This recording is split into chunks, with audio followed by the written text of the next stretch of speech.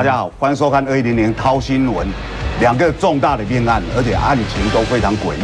撼动台湾的人心呐。你可以看到哦，现在所有街谈巷议，大家都在谈二哥到底有没有杀人，哦，谢依涵到底还有多少共犯？然后明天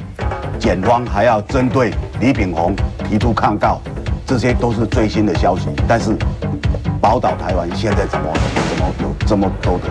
哦命案，然后而且都这么血淋淋？我们今天哦都会来做一个正面的讨论。我们今天来宾啊，沈路雄，大家好；是凤新，大家好；是然后邱毅，大家好；还有林国春议员，大家好；是马大琴律师，大家好；还有胡孝成，大家好。其实我们可以看到哦，真的是这两个案子，让台湾人哦真的是看到一个血淋淋的社会。但是当然了，里面有非常多的不寻常。那我们也可以看到今天的检察总长哦，他在立法院哦，他甚至讲话了，认为妈妈嘴这个案子办的。情况是有瑕疵，但是撼动台湾人的是礼拜六，就是两天前啊，礼拜六，啊，这个啊发现了一个人头在一个公厕，然后发现他的哥哥啊应该是被是杀人者，今天检方提出哦声押获准，所以我们先来看这个新闻。嘉义县水上乡省道上的这个身影，就是警方认定外观神似死者二哥的这名男子。警方沿路调监视器，才发现他在十三号穿着黑色羽绒衣、戴墨镜、口罩。上午十点四十九分，提着塑胶袋来到死者头颅被弃置的公厕。七分钟后，也就是十点五十六分离开，手上是空无一物的。接着他走了半小时，十一点二十九分来到公车站前等了十分钟。十一点三十九分还探头看看公车来了没有。十一点五十分，等到公车，却是上车不到一分钟，随即下车。这个想到他车有关方向的吧？外人就去左手跟那个地方上车。其实，在问公车司机前，这名神似陈二哥的男子沿路就边走边回头，想要拦计程车都碰壁。后来他干脆走进一间家具行，希望店家帮忙叫车。先抢先讲，请问你家有在叫车吧？我们回答他说，你家有在叫车。为什么不敢看妹妹？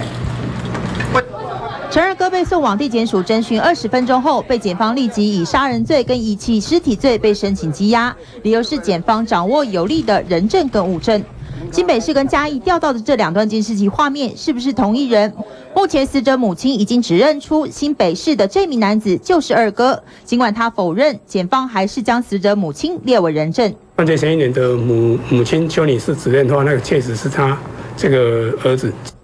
至于举报头颅弃尸地点的好心人，检方经过比对后，确定跟头颅纸箱中的字条都是出自陈二哥的笔迹，加上头颅的 DNA 确定是陈婉婷的，以及陈二哥十三号下午的通联记录出现在云林，跟他先前说自己都在北部的说法自相矛盾，种种物证都指向陈二哥涉嫌重大。尽管现在仍然少了凶刀跟其他尸块等直接证据，陈瑞哥仍然遭到法官裁定收押禁见。TVB 新闻南部综合报道。是，要找个女朋友。我们可以看到哦，其实你可以看到哦，现在陈二哥哦就被人家认为说他可能哦就是凶手，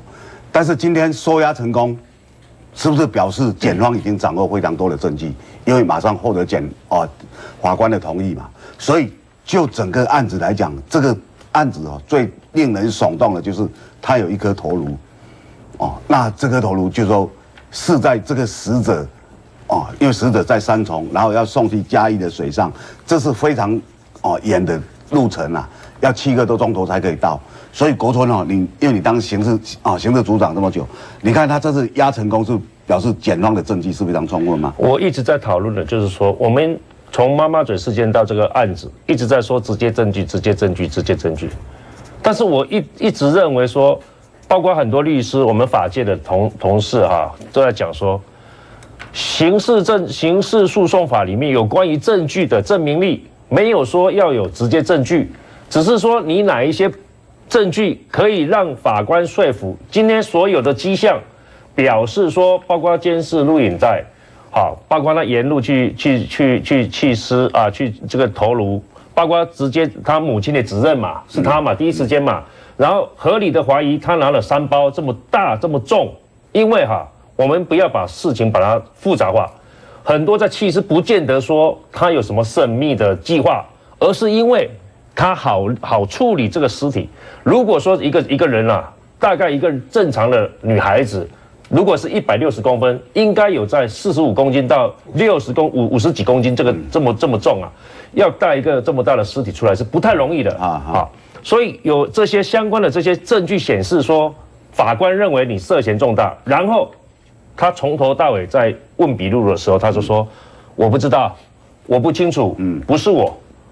所以我说，对于被告有利的证据，你要负举证的责任。虽然你不是，你不用负举证，就是说有责任就义务了，去提对你有利，除非你提出反证反证让检检察官提出的事证，你提出反证来来对检察官所提出的事证来做一个反驳，要不然这个案子能够让法官信服说应该要收押，是因为他整个这个这个这个作为不寻常。第二个还有一个，他有前科，他什么前科？他有毒品，有强盗，有窃盗的前科。嗯。就我所知，我们看到这三个前科，至少表示他去了警察局至少三次。好好，前科资料，警察的前科塑形前科资料打出来一看，你有多少多多少的前科，代表你有去警察受多少的笔录，你上了多少的这个这个地检署，你上了多少的法院，有这么多的前科背景，包括他吸毒，他他妹妹吸毒，所以可以合理的合理的推论了，包括我们要归纳法，要演绎法，至少我们推论的合逻辑要正确，这个逻辑正确才可以显示说他是不是因为保险的案子而衍生他去杀了他妹妹，为了就是要领这个保险金。嗯，所以他被收押应该是算说，因为涉嫌杀人的涉嫌很重大哦，就说就实际上，马律师就你就你了解，就实际上如果说弃置尸体，其实罪也没那么重了哦，就说其实是最主要应该是杀人部分哦。呃，其实就弃置尸体的部分，他应该也没有承认他弃置，他从头到尾还是否认那个提出来的是他，在那个家里也是他，他还是没承认啊。哦，所以这个部分弃置的部分他也没有承认，所以但是弃置跟杀人这个案件的这个行为，其实他是蛮密切的，还是前后前行为跟后行为。但是只要有跟这样子的一个行为有密切关联性，我们都认为他可能是共犯之一，只是他知情的范围到哪里而已。所以现在他对这个案件的的关联性是非常密切，收押我认为是必然的。那除了这个收押以外呢，我们可能检方现在需要的一些一些的技办案技巧是，以现在的这些科学办案来讲的话，我们。警方或者检方应该慢慢去习惯没有自白的命案如何破，我觉得这一点你要习惯，尤其是现在非常重大的案件，社会瞩目案件，给警方的压力，给警方压力是非常非常大的。那这样子这个压力情形之下，会有两种，会有两种这个不健康的情形发生。第一个。就是好大喜功啦，反正呢，人来呢，赶快，只要他说过事，他说出个自白来，我们就好像一个挖到宝一样的，就赶快去去去宣布破案，然后才后来才发现不是那么回事，这个情形发生。第二个就是刑求的情形会发生，这个我们也担心说江国庆的案件也会发生类似的情形。如何在这个没有自白的案的的情形下去破这些命案，是现在我们急需要的一个课题。但是这些案件发现从发生到现在也不过一两个礼拜，嗯哦，我相信还有三四个月甚至更长的时间，让警方慢慢找这个基证。哦，我觉得这个部分我们应该给予警方多一点的这个这个鼓励。我说鼓励是说多去找物证，那不要去随着随着这些名嘴啦或者是媒体起舞，因为媒体对，跟着这些检方起舞，我们不能控制。但是呢，你检 检察官跟这个警方不可以随着媒体起舞，我觉得这一点会破坏你的办案的步调，而且很容易被这个媒体去牵引住，然后把你的重心哦完全搞不清楚，说我现在的重心到底放在哪个地方。对，其实啊，叶玛丽是是林国春早两届警察大学的学长，其实他们两个都当警察很久，而且对于这个案子哦，他的剖析哦非常有道理。但是哦，因为最早哦，这个头颅会被发现，是因为三重的大同派出所收到一封信，这封信的笔迹已经证实是二哥写的啊，已经已经去验出笔迹，已经证实了，所以哦，这个连结关系就哦，你怎么会知道那里有一个？所以显然你跟气质哦，气质这个是哦头颅哦，其实有非常大的关系。然后你那时候又出门又拎着这个，这个其实是，当然他现在没有百分之百证据，只能讲说是哦涉嫌重大，而且是涉嫌杀人。笑成是这样，呃，我觉得到目前为止的话，为什么今天这是用所谓的毁损跟弃置尸体这个方式来做一个收押、羁押的一个动作？那主要在于，因为还没有办法厘清陈婉婷她的死因，那她可能有所谓的他杀，也可能是自然死亡，但也有可能是所谓的意外死亡，这个不晓得。这还有法医做进一步的一个一个鉴定啊。另外的话，当然是最重要的就是，目前虽然有头颅，但头颅没办法去判定他的死因的话。那在这种情况之下的话，等于就是法官也只能只能用这样的一个方式先把它加起来。那为什么他他要羁押？我我所以我还是在再强调，每次有这种重大案件发生的时候，我都希望能够给予一些教育的一些功能在里面。另外在哪边呢？就是在于，因为他本身来讲，他的笔迹有没有现在目前按照媒体的一个说法，他看起来像是“好心人”这三个字是他写的这样的。另外的话，因为他有所谓的不正常的动机，就所谓的保险金的六百三十六万这个问题，这里面有可能就是形成一个。啊，怀疑这当然还有检警在在做这补偿的证据了啊，这样子可能是不是一个杀人弃尸的这样的一个动作？这样子，那不管怎么样来讲的话，这个案子跟妈妈嘴事实上不太一样，我必须要再强调不太一样。它有若干相同的地方，就第一个，两方人马的话，就就以谢海来讲的话，都有乔装，对不对？那两个都有变装那种状态。第二个的话就是这个当就目前的涉案人的话，对于凶刀跟地跟所谓的命案现场这个部分都没都不交代，有没有？然后有一些否认这样的情况。那我非常赞同马律师所说的，因为本来我们在法律上面来讲的话，你你涉案人本来就有说谎或者是不不答的权利啊。那你检察官跟警方呢要做什么？当然就是要补强这些证据，有没有？让犯罪者绳之以法。嗯，对啊。但是哦，刚马律师也特别提到一个，就是说你不要哦，要要用证据来办案，不要听信这个人，因为我们现在看到这个二哥哈，哦，他几乎不讲话，都不知道不清楚。哦，那你要碰到前面那个谢依涵讲了一堆故事，哇，警方好高兴，找记者来就是这样杀的，所以每个报都是头版，然后后来才发现里面根本多数的情节是错误的。那你今天碰到这个案子刚好特殊了，他几乎是不讲话，那不讲话你要怎么去关他？你就要凭证据哦，凭录影带，然后找凶刀，然后从哦他家里看有没有一些唯物基证哦，所以变成这个案子是考验警方你够不够科学办案。呃，这个案子哈，就弃尸的部分应该比较有证据哈，那就毁损尸体的证据不如弃尸。那至于说陈婉婷的死因，这个是不是谋杀，是不是凶杀，这个部分尚待求证啊。那么大概这一次合议庭应该是觉得他至少是个知情的人，嗯，他至少是个共犯，所以将他收押进见。啊。那么就就今天来说，警方拥有的证据，基本上第一个就是他自作聪明，那么去寄的寄给三重大同所的那一个好心人的那那个笔记，那这个笔记一开始他也不认。但是后来他妈妈说这个笔记是我儿子的，但里面的陈婉婷、陈婉婷的三个字也证明是他的笔记。好，那第二个呢，就是他的行动电话手机基地台显示他的行踪，当天的行踪。那第三个就大家在影片上看到的那个监视器从三重的家里面出来的，那么他妈妈指认，他妈妈说那个确实他儿子。好，那至于在嘉义的那个部分，便装戴着假发，穿着羽绒衣，当然很怪异啊。哈，我也觉得很奇怪，所以我也不认为他是一个缜密的一个一个犯罪者，一个缜密的犯罪者在。摄氏二十八度的当天的嘉义这么热的天气，穿个羽绒羽绒服，说实话更引人瞩目嘛。那那个部分应该到目前为止还不能确定，那就是这个二哥啊。但是就目前为止，什么没有？第一个凶刀没有，嗯，第二个死亡时间没有，第三个第一现场没有，嗯。那在这些没有的情况之下，到底陈婉婷是被他二哥杀的呢？不知道，嗯。那这这个二哥还有一个在。今年年初结婚，跑掉的已经回大陆去的他的陆配，啊，这个这个回到大陆去这个陆配，有没有扮演里面的角色不知道。这个这世上有很多在杀的不凶杀不不知道的部分。那法医不是还讲吗？说那个头骨没有没有任何的伤痕，那没有任何的伤痕，他如果里面有凶杀，就会反抗，反抗。那照讲应该有伤痕，那有没有可能他是自然死亡以后，接着毁损尸体，然后弃尸，然后去诈领保险金？那这个当然都必须看往后的证据的发展来认定他了。对啊，所以刚刚提到一个，就是说这个头颅是完整的，一般他如果被杀有挣扎有怎么样，脸部至少会有一些擦伤啊，通常啊，就是说他是非常完整，然后他的伤口也很平整，哦，就是说哦，所以认为说这个是不是已经哦是自然死亡？然后因为有保险嘛，哦，有保险，就说我把它哦制造成是一个意外。为什么？因为他保的险都是意外险。那如果我把它造成是个意外，是被人家杀，甚至被人家砍头，哦，都那那是被人家杀意外嘛。那这样就可以领到保险金，这些当然都是动机，但是这一次哦会被收押，当然是认为说你是有杀人的嫌疑啊。我先讲一下这一次的收押，其实你可以看出这一个陈二哥哈，他的涉案程度就像妈妈嘴命案当中的那个谢依涵是一样的，就是你至少是一个高度知情人士，我用高度知情人士，就你完全知道状况哈，但是。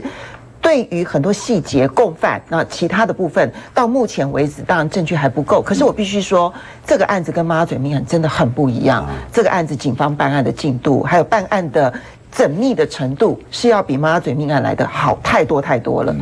从二三月十五号下午，上个礼拜五才下午两点多才收到信，到现在才多久的时间？他现在至少已经做了哪些事情？第一个。笔迹已经验出来了，是陈二哥的笔迹，这一点是非常重要的，因为。代表说用这个东西，法庭就会知道你是一个高度知情人士，这是第一个部分。第二个部分已经调通联记录了。嗯，好，三月十三号，你有一段时间在云林，那云林跟嘉义的地点是非常接近的嘛，所以如果那个时间如果再去推上刚刚这个引带的时间，其实会作为一个更好的证据。第三个，今天你看到他每一个时间的那个进度都是出现的。今天早上在看引带的时候，还是提着袋子。的一个影带，然后接着呢，再接下去到了中午的时候呢，已经有了进攻车又出来，然后袋子不见的引带，然后现在有更进一步的是他到处要去拦车子啦，就后来车子搭错啦，然后去找人呐，然后要去搭车啊，这点很重要，因为你循线一直追下去，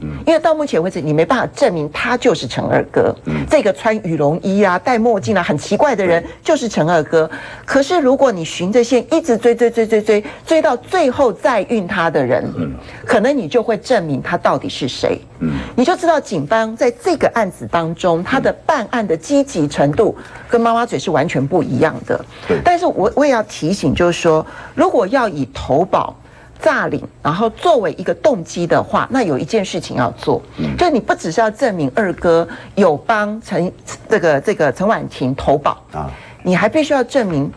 这个陈二哥，他是不是只有帮陈婉婷投保啊？他家人他还有一个哥哥，他还有一个姐姐，他还有一个弟弟，他还有一个妈妈，他是不是都没有帮别人投保？他只帮陈涵婷、陈陈婉婷投保的话，如果是这样的话，陈婉婷住他家了。其实不不不，这个东西，因为通常来讲，如果你要投保，你可能会帮自己的母亲投保。如果连自己母亲都没有，其实那个动机程度会稍微拉升。当然。最后你还是能够找得到第一现场是最好。其实他的经济能力很不好，然后帮妹妹投保了哦六百三十六万哦意外险，这个不容易，而且他还有钱去娶一个大陆的新娘哦。我们知道娶大陆花了二十五万，对你这个你这个钱哦是从哪里来？所以就就会觉得说你是不是有些东西是在预谋，而且你有怎么样的？但是因为他已经被收押哦，我们看现在检哦，因为检察官哦，他提出来的是什么通联记录。保险请假资料啊，因为他那时候杀人有请假，还跟他工作的那个自助餐店借菜刀哦的，那这个菜刀是要干什么呢？就说会被被人家认为菜刀就是凶器哦，所以哦，被告用杀人跟毁损哦那个遗弃尸体的罪嫌重大，他可见他是用这两个罪名去压他，而且哦成功了，但是他到底是不是凶手？很接近了哈，但是对了。最近大家都在批判媒体办案，我现在先来批判这个媒体开始。你看，这个是今天大报的标题，就说预谋两年，陈家富杀妹，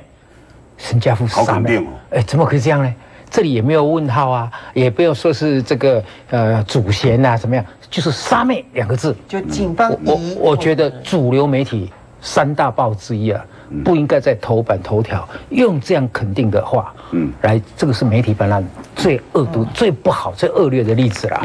但是哈，跟巴黎双杀案相比哦，这个当然也有类似，但是也有相当不一样的地方啊。巴黎是那个尸体是被动浮现，这是主动提示，嗯，而这个主动提示的人好像是二哥，而且二哥提示的时候他还留了。笔记啦，写信写到一个他只有他才知道的派出所啦，他留下了太多的痕迹，所以两边哈都自以为聪明，这个办涉案人都自以为聪明，但是这个其实涉案人他的层次，我们假定是二哥了，假定了哈，他的这个不管是社会阶级啦，不管是财力啦，不管是教育层次啊，跟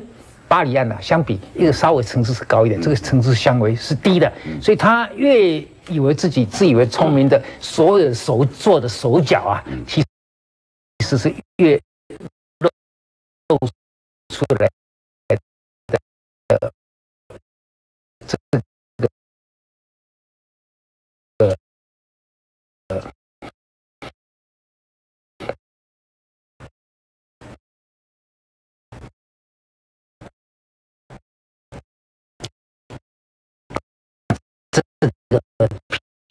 肉越多了，好，所以我我觉得这个当然相对是比较好办的，嗯，啊，因为比较好办，所以这是为什么只用这个回尸体是哦，这首先那为什么这这这这这这那什么是是为什么我手我觉得这种很不可能，如果是的话，那其实就是这个受那怎么是什么发现里面？那在历史地方，那千里妹妹，我想到这个下一步我就并不难了，我但是我认为这个不太可能，我认为这个制造尸体的跟毁灭尸体的很可能几乎是同一个人，嗯，所以呼之欲出嘛，所以我觉得这个破案的可能性是非常接快。对啊，这个案子啊，你可以看到嘉义警方哦，因为他刚好前车有一个新北市的警方在办哦巴黎双尸案，那他我觉得他学到非常多的教训，他在非常短的时间哦，你看这两个案子 到最后两个礼拜哦，这一两个礼拜有很多雷同，就是非常多的监视录影带，大家在电视上看到处都是监视录影带，然后非常多的通联记录哦，那这些都是非常科学的东西，就是说你人到哪里，你的手机就指引到哪里。你有没有经过手机就指引到哪里？很多东西是科学的，所以我们其实哦，应该从这些案子里面知道一些哦，不管是法律常识或者一些哦，就说这种你做一些事迹迹。但是哦，这个案子讲起来是实在很悲哀，因为哦，一个哥哥哦，他虽然涉嫌重大了哈，他涉嫌重大，他怎么会哦，就是不一定是他杀了，但是他妹妹的尸体。哦，后头颅他他为什么不好好处理，把它入殓或怎么样？即使不是他杀的，就是你可以感到哦，非常的悲哀。等一下回来我们谈论相关话题。我们可以看到哦，三重这个命案哦，因为一路延伸啊到了嘉义，然后哦涉嫌重大的是二哥，二哥帮妹妹保险，然后保了六百三十六万哦，这是被认为说嫌疑很大了。但是我们也可以看到哦，他现在大家都讲这个二哥好厉害哦，哦，警察讲什么都不知道不清楚，然后哦你所有东西都问不出来，那警察好像束手无策。但是你说他束手无策吗？他申请羁押就羁押成功了，表示他握有很多的证据。我们先看这个画面。为什么不敢看妹妹？为什么不敢看妹妹啊？低头不语，一律摇手否认。陈二哥落网遭移送，检方认定他涉嫌杀人、毁损遗弃尸体，向法院申请羁押，但搜证三天却苦无关键证据，指向陈二哥就是杀人凶手。检警手上最有力的两段监视器画面，拍到案发前陈二哥拎着两包大塑胶袋离开三重住家。几个小时后，他变装进出，弃尸公厕。母亲指认三重监视器拍到的就是陈二哥。警方比对也证实两者是同一人。虽然有人证，但最多证明陈二哥涉嫌弃尸，无法咬定人就是他杀的。另一个重大突破，检警比对笔迹，前匿名信的好心人就是陈二哥，刻意留讯息通报被害人姓名。如果真的犯案，留下物证实在有违常理。法界人士表示，陈二哥或许聪明到依次反击，自己没有杀人，只是协助处理尸体。法医表示，从头颅切痕无法判定凶器，加上抹盐，确切死亡日期不明。三重住家留下的血迹鉴定后，也只有陈二哥一人，找不到凶器，无法锁定第一现场，其他尸块也下落不明，案情恐怕只能依赖被告自白寻求突破。日前陷入焦灼的巴黎双尸案，同样先发现尸体，锁定主嫌，怀疑有共犯，两起案件同样留下诸多线索，铁证如山，但却一样无法让案情明朗。TVBS 新闻综合报道。哇，大家刚刚看那个画面哦，看他提的那个东西哦，感觉是很重啊，哦，但是那是什么时候呢？三月十三号，我们今天是十八号，三月十三号哦，凌晨四点多，哦，大概四点十一分还是十二分，然后他提出来，你可以看那时候是最没有人的哦，因为那个地点我也常经过哦，三重的大同南路，那你看哦，那个时候是人最少的，那他这个时候提出来，七个钟头以后又有一个，哦，这个人就不一定还没有证实是他，但是提着这个重物出来的是他，然后你。哦，可以看到，就是说到了嘉义，那个人虽然不能证明是他，但是他提的这个重物，如果是同一个人，到时候已经三代变一代啊，而且三代可以讲变一个头了，变只剩一个头。如果那个是尸体的话，就变是一个头。所以如果由这些时间的点哦，一个点一点把它串联，哦，感觉就是他。但是现在警方碰到了，我觉得他有很多断点，对不对？嗯，其实第一现场非常的重要啊，这个塑胶袋。他不承认是他的，他没有说是他，对，他说他不知道。可是他妈妈已经说这个就是我儿子出来的那个。好，现在妈妈说这个就是我儿子。警察问你，你说你不知道。检察官问你，你也说不知道。那现在只能靠刑事监视人员去他们家，整个地方包括水管有会有会有剩下的这个有渗漏的这种点呐，全部都要去采证。只要能够采到唯一啊，任何地方都没关系。采到有一点是这个啊，这个这个这个他妹妹的血迹的话，那就很事实很明确。嗯，要不然你说今天被告拎了这么重的东西，说沿路去弃弃尸这个尸块，我也不太相信，因为我们看出影在里面真的很重啊。嗯，他还要斜着走啊，才有办法把那个东西扛起来啊。那这些东西丢在哪里？嗯，他都不讲。嗯，所以现在如果。如果是以见识的理论去探讨过去办案的经验，应该重点放在他他们家里面的，大概就是浴室整个地方去做一个现场的重建去勘察，去找到唯物基证。对啊，国春是李哦李昌义的高徒啊，真的是不是讲假的，是真的是高徒。但是你现在看到的最重要的两个，哦。第一现场杀人的第一个现场在哪里？这个很重要。第二个杀害的时间是什么时候？哦，因为你如果照他失踪，那是去年哦十二月十二月哦十六十七号妈妈去报案，啊之前就已经失踪了两个礼拜了。所以沈大佬你是哦医学医学专家，我我请教你，光凭头颅有没有办法断定是什么时候被杀害？光凭头颅啊，我觉得不太可能。但是哦，这个跟巴黎双尸案有一点类似的地方，就是说，他消失被害到尸体被发现时间都隔一段，但是那个巴黎那个好像只有十天左右吧。这个如果是十二月十七号。报失踪，恐怕在这个之前就已经被杀害了，所以这个时间上起码两个月以上。所以哦，以这个用盐巴给吸引起来啊，哦，所以这个时间长的话才不会腐烂嘛哈。所以你这样去推想的话，以这个人社会资源是有限啊，他在第一现场杀了人以后，又要保留这个尸体又要那么久，又要花精神去处理它，变成一块一块，我觉得很不容易找到他可以利用的地方了。所以我我在想哦，这个地现场非常有可能就是他。的家，那我我认为那个警察检警单位应该可以去那边去找到足够的这个这个东西哈，去做唯物检验。我觉得这个迟早哦会会把这个证据都拢起来，应该是没有问题。对，现在如果照这样分析，就是说哦，去年十二月就杀害了，然后用盐巴把它腌起来，腌起来要放哪里呀？家里冰箱，你即使用盐腌着哦，光天化日三个月大概也会错，哦也会错，也功夫也没那么好了，哦，那可能就放冰箱。但是你冰箱你是要把它剁成块，其其实来讲非常恐怖。为什么？因为你要陪他在同一个屋子三个月，你自己的亲人，而且你还有一个大陆的太太跟你在同一个房间，他不要去开冰箱吗？不，所以你讲起来，如果完全没有冰哦，是不可能的。即使用盐腌，因为是时间这么久，所以它的关键在哪里？回来继续讨论。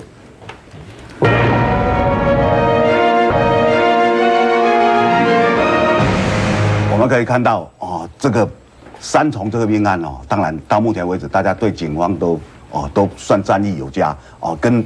妈妈嘴那个案子是不一样啊。但是哦，它里面的关键哦，是不是两个案子都是为了钱？尤其这个案子，它非常明显的就是哦，他去办了保险，而且是办意外险啊。替一个年轻的女子，三十几岁的女子办意外险，本身就很特殊啊，因为这这样的人比较不容易出意外嘛，那你替他办了，然后受益人是你，那他到底心里在想什么？我们先看这个画面。为了保险金，陈二哥真的杀害了亲妹妹吗？警方查出，陈二哥两年前就替妹妹连续投保了四张保单，其中一张三百万的保单受益人就只写上自己的名字。但现在最令警方不解的是，如果真的是为了保险金杀害妹妹，为何还要假扮成好心人写信向警方通报头颅下落，并在袋上写上名字？警方认为，陈二哥的用意其实摆明就是要让妹妹的身份曝光。依保险法规定，如果是失踪者，要等七年后宣告死亡，受益人才能领取保险金。但如果是意外身亡，只要取得相关验尸报告，两年内就可以申请保险金。换句话说，人失踪要等七年才能拿到钱，但如果是意外死亡，马上可领。因此，警方大胆推测，陈二哥故意曝光死讯，塑造妹妹遭意外身亡，为了就是要申请保险金的险招。陈二哥从事厨师助理已经有一段时间，一个月薪水四万元。而一年前透过婚友社花了二十五万娶了大陆籍配偶，研判可能是急需用钱才会狠心对妹妹下手。不过保险业者说，如果一旦发现凶手就是投保人，同时也是受益人，可拒绝理赔。另外四张保单中有三张的法定继承人都有填写到陈二哥母亲的名字，但如果一旦确定是儿子杀了女儿，母亲也很有可能拿不到半毛钱。TVB 新闻翁世杰、邵凡轩台北报道。哇，大家看哦，这个案子真的很特殊，又加上保险金，大家想起陈瑞清案，陈瑞清把自己老婆、儿子都杀了，只是为了领保险金。那这个哦，他当然现在还是涉嫌人，就说到底有没有这样的因素很重要。但大家刚才不是讲到说，如果依照监视器录影带三月十三号的那个录影带，他的第一现场如果有杀人的话，第一现场应该是在二哥的家里头。那如果在二哥的家里头，那又。这个这个这个陈婉婷又是去年十二月就开始失踪，那如果是那个时候就被杀了，那一定有一个藏尸的地方。那这个藏尸的地方，他那个房子不是只有二哥一个人住啊？二哥那时候娶了一个大陆老婆啊，而这个大陆老婆在这件事情这件事情爆发之前没有多久，这个老婆三月六号，这个老婆回福回福建去了，所以这个大陆新娘会不会在过程里面，她是一个知情者？嗯。那所以要不要透过两岸之间的形式互助，那么来把这一个大陆的新娘找到，那么来提供一些线索？这第一个，第二个哈，我也觉得蛮幸运的。这跟巴黎的妈妈嘴的命案不一样，巴黎妈妈嘴命案是死亡发生的时间是二月，但是后来被开始进入调查，尸体浮上来的时候已经是三月了。嗯，而我当时在追陈志忠嫖妓案的时候啊，我得到了一个教训。我当时也是靠着那个监视器的录影带的保全，我才有办法能够破这个案子。嗯嗯。但是呢，我去保全，我去把监视器的录影带保全的时候，他告诉我，监视器的录影带七天自动覆盖。啊哈。我是抓住第七天的最后一刻，把这个监视器录影带保全成功，所以才破了陈志忠的嫖妓案。那这个案子呢？为什么这个案子是？大家看这两张。照片是非常重要的，嗯，都是从监视器录影带拍出来的。三月十三号，三月十三号，所以离现在的时间短，对。但是巴黎妈妈嘴的双尸案呢，死亡的时间离尸体浮出来的有一段很长的时间，所以有很多的监视器录影带都找不到了。嗯嗯。好，包含他们有没有去买纸钱，好有没有都没有办法得到很明确的。监视器录影带的基证，所以两个案子在这方面是不一样的。邱毅最厉害的哦，本事就是什么案子都可以跟扁案拉上一点关系。当然这个和扁案没关系，但是他可以举扁案的例子啊。我们讲起来，哦，就是说为什么？因为录影带现是现在警方办案很重要的工具啊。就说你有有图为证嘛，这个拿出来一妈妈看，这个就是我儿子，所以压就压成功了。那可是里面哦，让人家最不解就是说他保了六百多万。他娶这个大陆新娘，因为他经济情况很不好，他娶这大陆新娘是不是跟人家借钱？然后借钱，现在人家哦要追债或怎么样，只好痛手下哦把妹妹哦或把她怎么样？当然这是推测。然后哦急着要还钱，所以急着做这样的案子。玛丽，依照你的。你的经验？嗯，其实哦，很多人说分尸案件有一些特殊的情境啊，他的变态心理啦，或者是跟被害人一些一些的这个感情，我我认为八成分尸案件大概都是为了不让人家追查到被害人的这个行为人，不容易追查到这个犯罪行为人，对加害人不容易查到。那这个案件呢不一样，前半段没有错，能够分尸成功了，也把他丢的可能丢的到处都是。但是最后面他为了要取这个保险金，去通报这件事情，他露出了马脚。他通报就是为了要领保险金，分尸是为了不让人家发现他自己干这个事。结果呢，这两项斗起来呢，反而让他自己弄巧成拙，这是可能一种推论。但是我要强调，这个案件其实跟，呃，这这个烟烟丝案跟这个妈妈嘴命案，其实两个有点不太一样。但是我觉得有一个有一个非常影响到警察办案的这个这个挥之不去的什么，我说证据之王就是自白。嗯你看这两个案子，一个是从头到尾都不自白，你问他，甚至这个报纸报纸也是说你是不是陈家富，他说我不是陈家富。像这种几乎等于是被告的嘴巴里面呢吐不出半半句话的人，警方呢就比较认真一点，看灵魂呐啊哦，几分一个一个慢慢的去搜，一个一个慢慢的搜，土法炼钢，甚至是全面的去搜证。这个部分呢，你就看得出来，他步调办起来就比较有节奏哦，所以一步一步慢慢办，办的办的这些证据会比较扣的比较齐。那反而是这个妈妈嘴里面，因为有了自白，所以他们很容易去相信这个自白，自白影响到他们整个这个办案的步调节奏，整个就乱成一团。那乱成一团以后呢，自白要是一被翻盘，整个他们自己会阵脚大乱，在搜证上面可能会。变得变得是没有一个组织，没有一个章法。我觉得其实这两个案件呢，比起来，我情愿当事人，我情愿这些被告都不要讲话，反而这些警方办案的会搞，会比较比较认真一点点。对，但是因为你现在哦讲科学证据，如果嫌乱从头都不讲话都不招，你不能说因为他不讲我就没办法，就是你要凭多少证据？那你的证据证实是哦他干的好事，然后你如果由这样到法官前面了，法官会对。哦，那个被告判重，因为换肉态度很差。换肉态度是法官量刑一个很重要的依据。那我们看哦，其实这个案子他还有多少嫌疑？回来我们慢慢讲。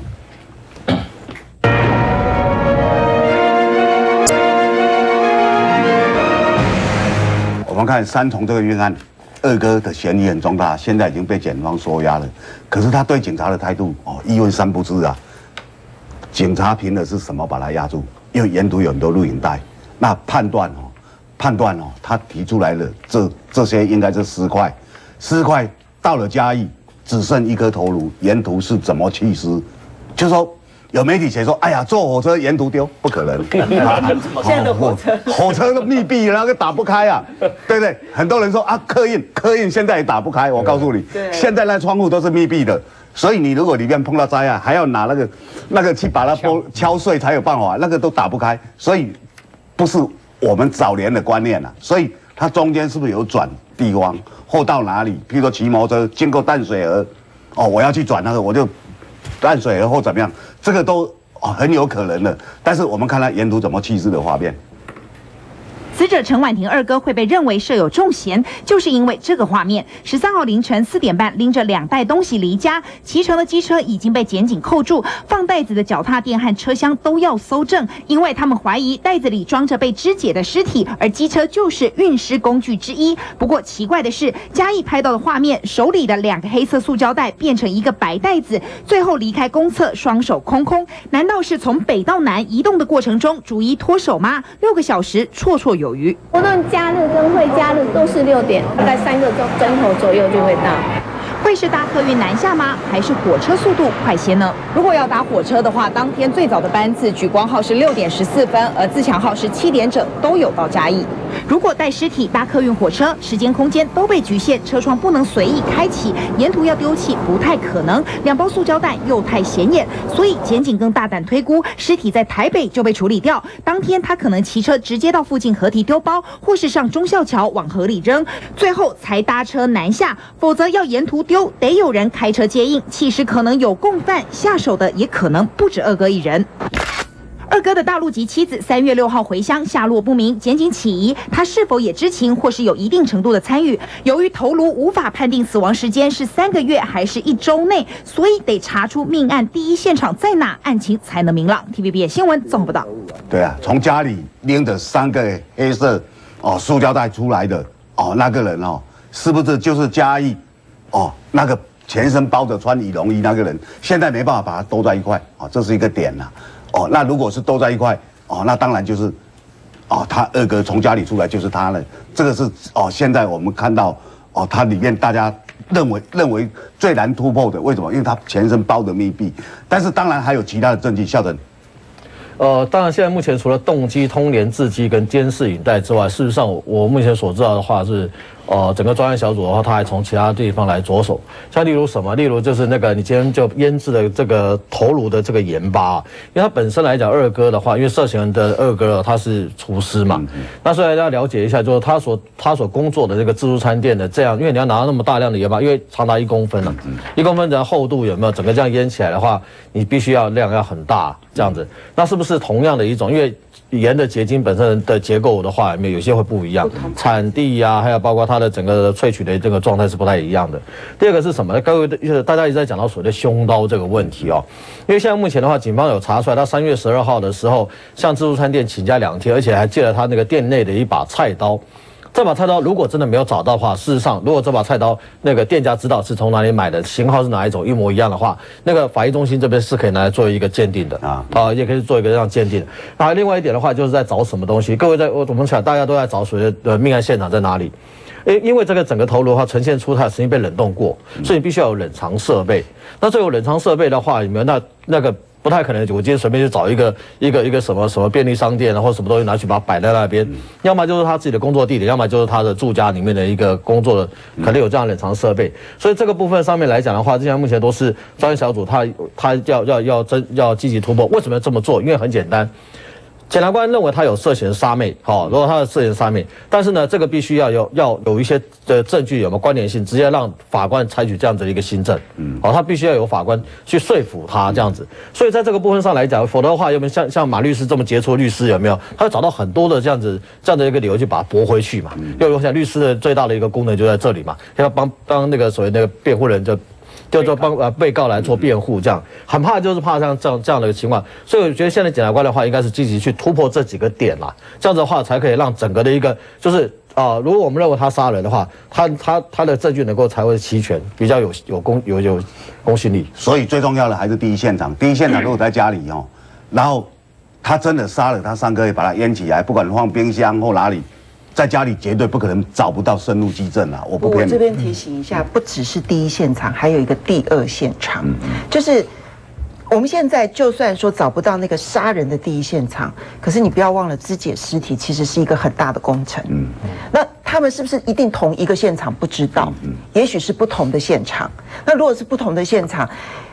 我当然不要讲太细节，可是肢解尸体啊，它其实喷洒出来的唯物基证是更多的，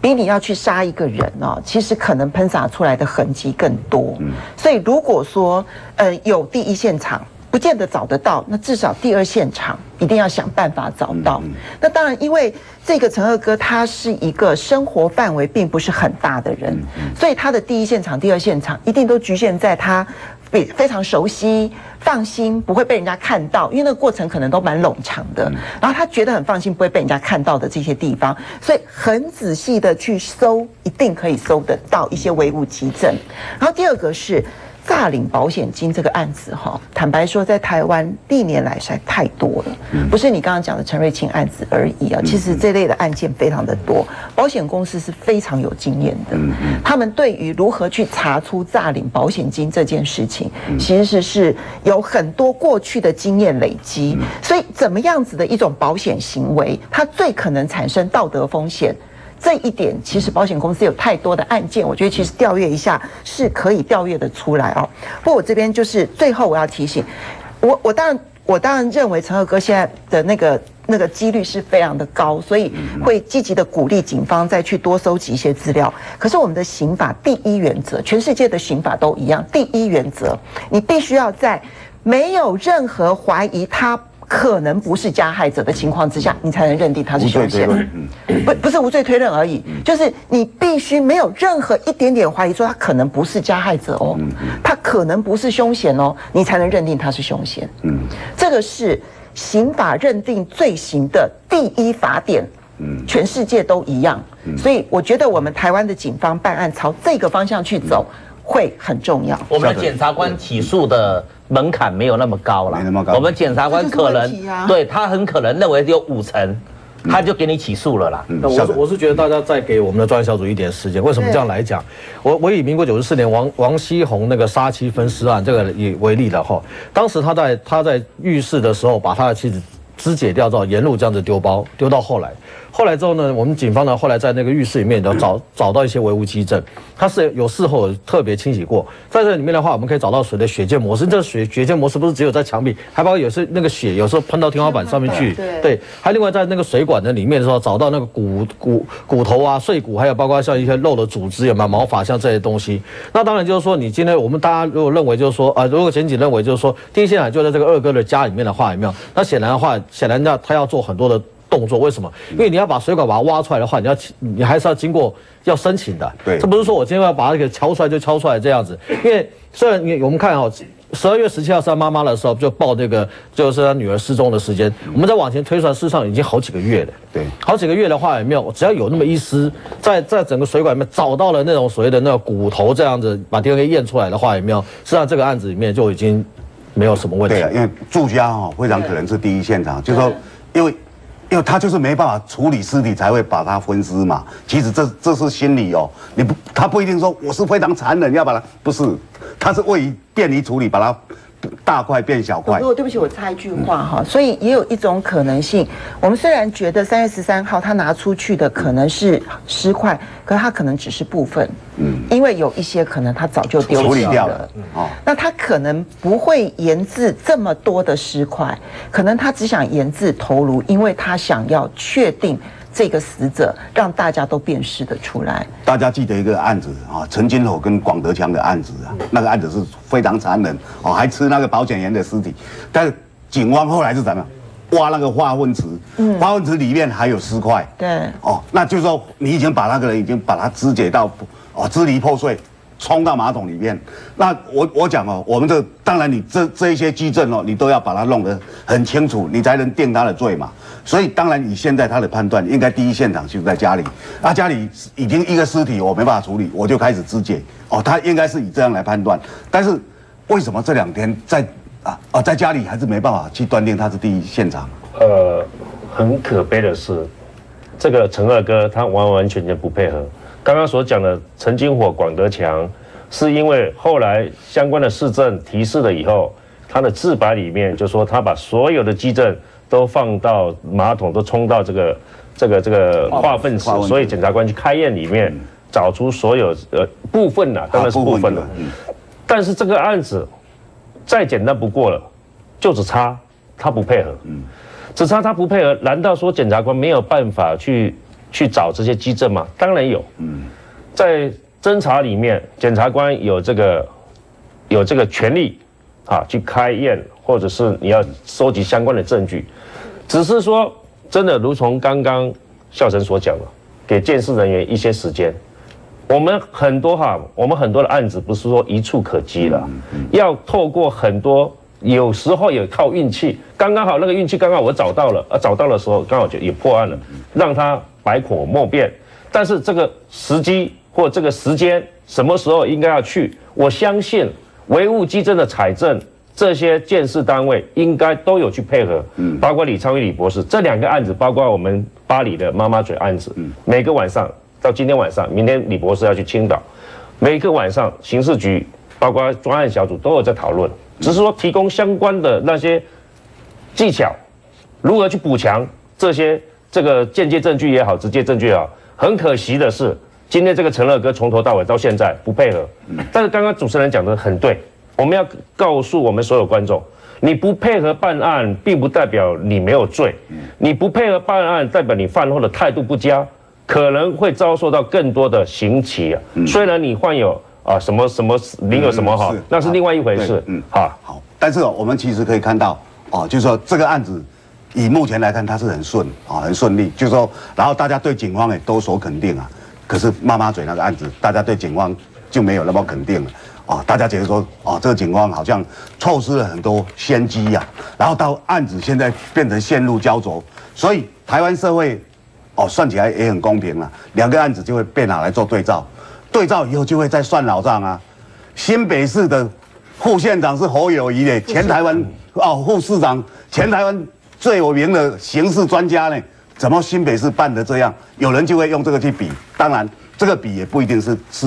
呃正确的啦，哦也不一定是公平的。但是下个问题我们就来讨论妈妈嘴，他现在的问题还有哪一些？马上回来。